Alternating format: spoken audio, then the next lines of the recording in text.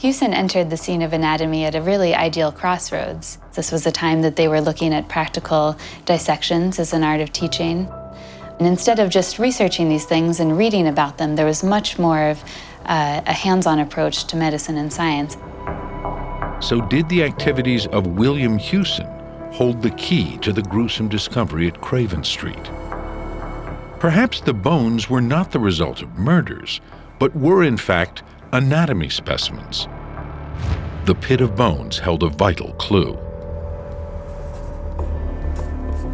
Hewson conducted extensive research into the human lymphatic system, and his detailed findings were recorded by leading anatomical artists of the day. But to earn his place in the charter book, he'd gone a step further, giving a groundbreaking lecture at the Royal Society.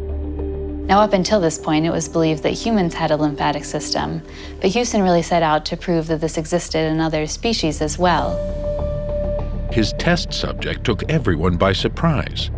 It wasn't human at all, it was a green sea turtle. Now, one of his most ingenious experiments took place with a dead turtle, and Hewson basically injected mercury into the turtle and watched how it went through the lymphatic system.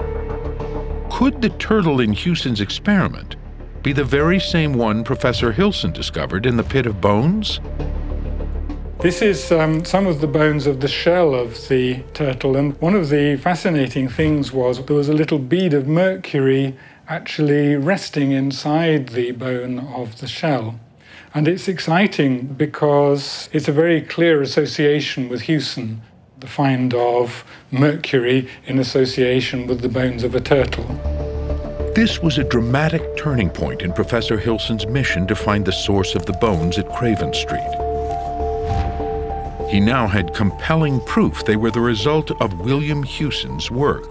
Could Benjamin Franklin be ruled out as a suspect?